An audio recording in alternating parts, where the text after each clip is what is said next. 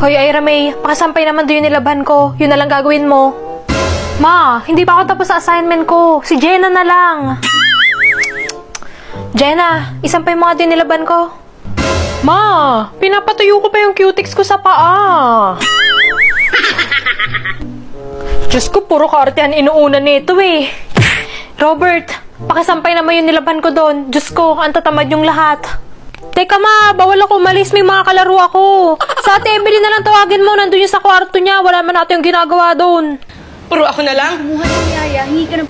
Ako na lang lahat? Puro si ate? Puro si Evelyn? Maliit pa lang ako, binubuhay ko na kayong lahat! O sige na, kumalma ka na anak. Huwag ka na magdrama. Alam ko palusot mo lang yan para hindi kita utusan. Ako na. Ako nang gagawa na inuutos ko sa inyong lahat.